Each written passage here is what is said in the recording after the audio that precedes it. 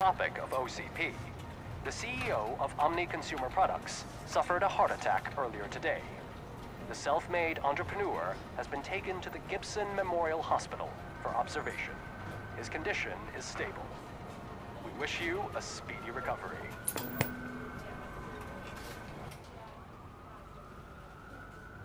Wendell's in prison and the old man is on his way out. Could this Book be any better? Trophy earned. Complete Jeez, Ghost of the Steph, Past don't you quest. have any oh, respect? Oh,